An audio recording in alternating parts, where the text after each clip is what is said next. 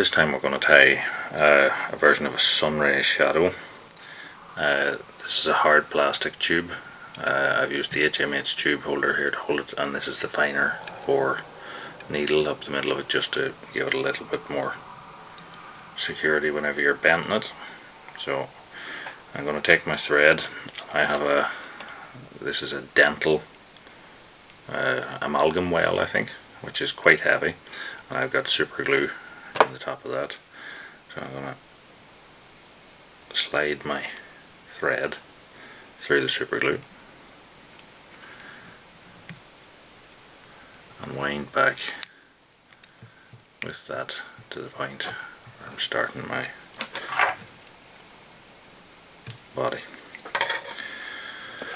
The body I'm going to use uh, a silver braid. Is not a holographic one, it's just a straightforward silver.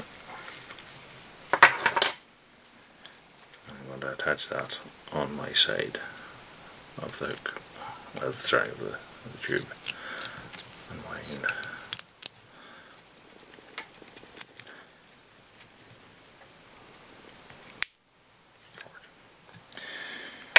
Now,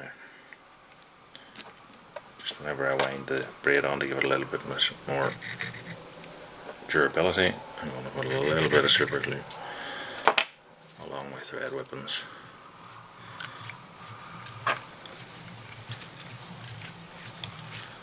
I'm going to wrap that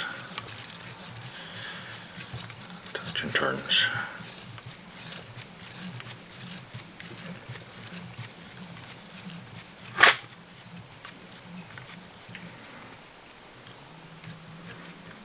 to create the body.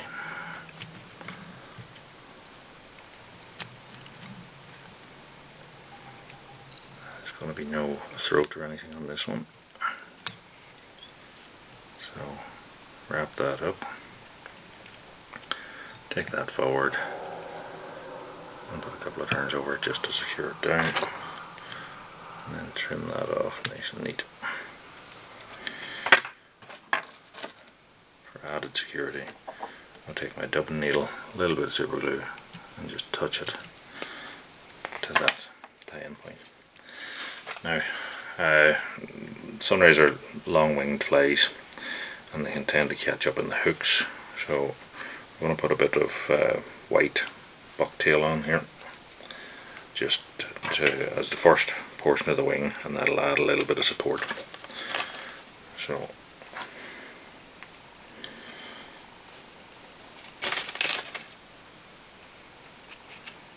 a bit of the excess. Now if you can imagine this tube's going to come to here, there's going to be a bit of junction tubing and then your hook, so your hook's going to be sitting somewhere around about here. So we want the bucktail to come beyond that just so that the wing itself, whenever it's waving about, doesn't get down and into the hooks. So roughly measuring that up, then I'm going to trim off the end nice and flat. Take my dubbing needle, a little bit of super glue and just get it into the the very base. This I'm going to play that up. Before it dries in, I'm going to tie that up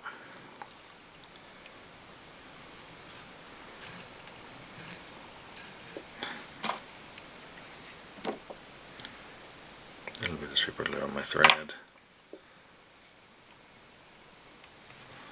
couple of turns on that. If you pull really tightly in the bucktail, what it'll do is the same as if you're tying a muddler, it'll just expand. So the tight turns are at the front, and then at the rear a little bit looser. Now, uh, on this one, I'm going to put in a little bit of silver crystal here. Put on a strand of that and double it back on itself. Take that down and trim it off.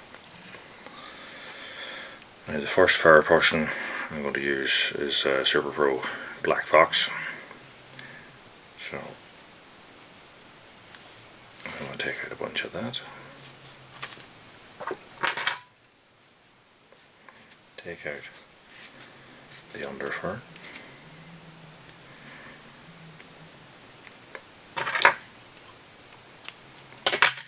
Cut that off. Nice and square. Again, little dab of glue. Apply that up. Glue across itself. Bind it down.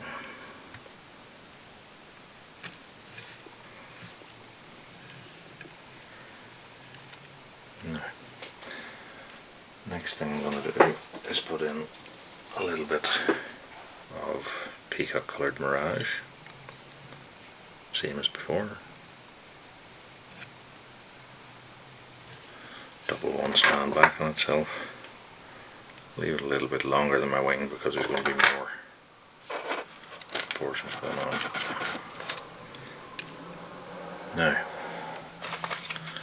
next up is some Naiad or Snow Runner or whatever you want to call it.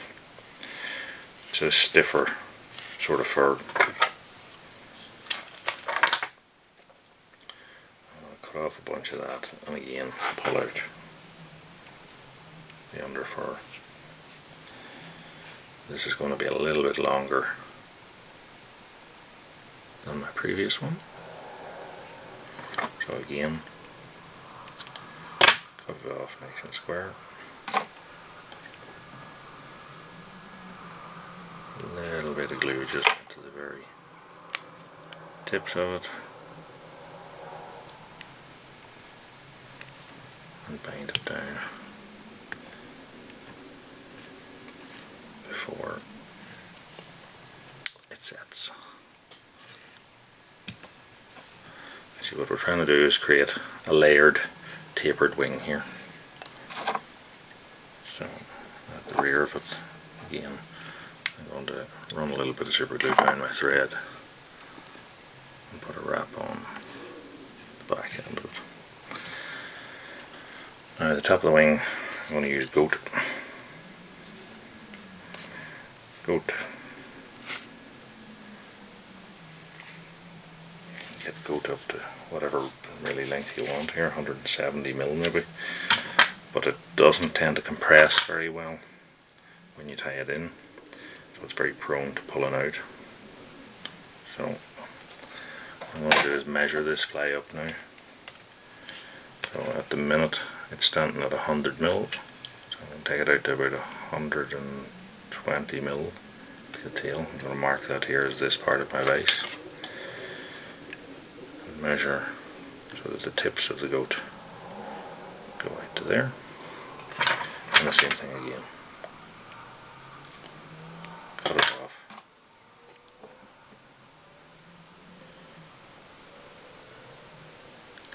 A little bit of super glue into the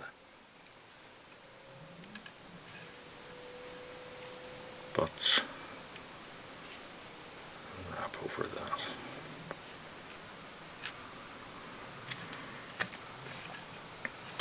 As you can see now we have a nice tapered, multi-layered wing, lots of different types of fur. So I'm going to take a mascara brush which I've cut down and I'm going to brush that into itself. On the top of the wing I'm going to put some peacock fibres. So pick a couple of one side of the feather. You don't have to make these the full length of the wing. I'm going to take a couple off the opposite side of the feather.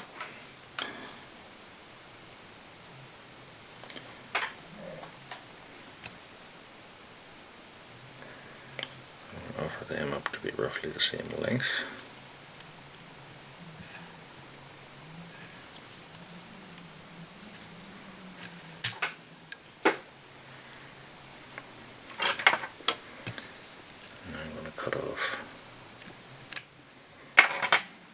loose ends of that and put a bit of super glue onto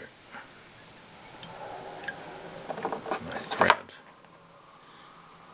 for a few inches. I'm going to wind down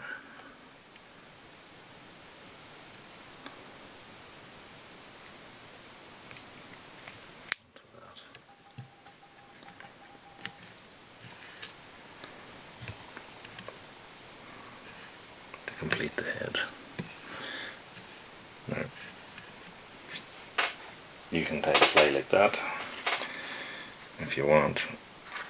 You can put jungle cock on the sides of it.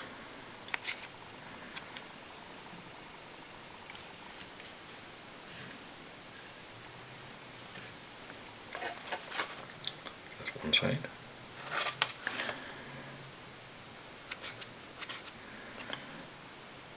And measure this up against the other side.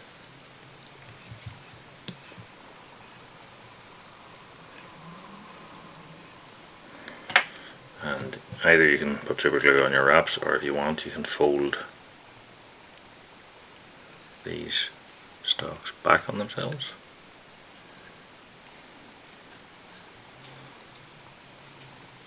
And cut off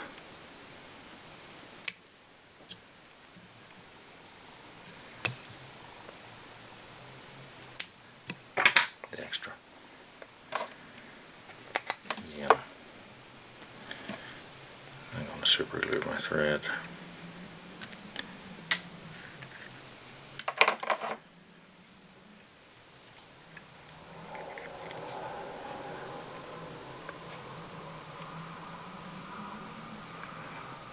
And finish the head off.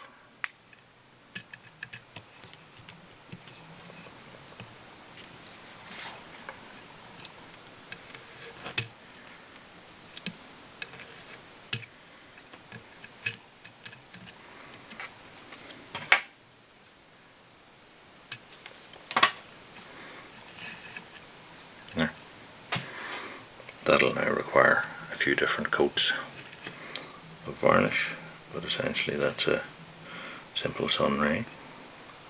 And what I'll do then is I'll cut off the back of the uh, tube here, uh, and I will flame that to create a little burr on it.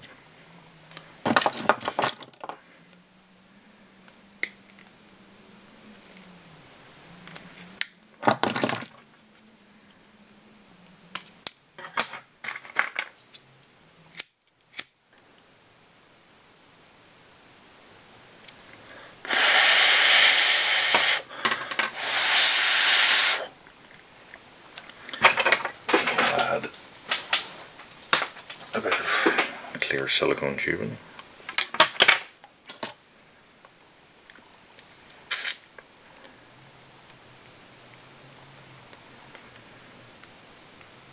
Where's that?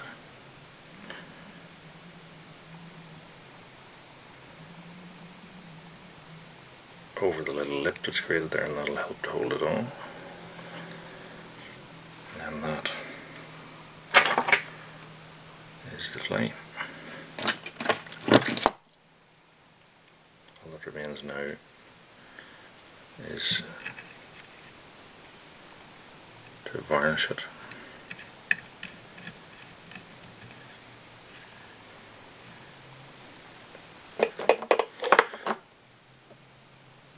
I'm going to use clear varnish here first. See how that looks. Sometimes it's enough.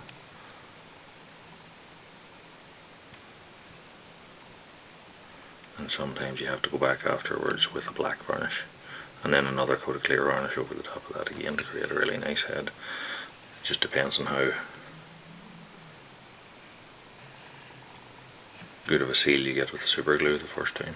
But there you go.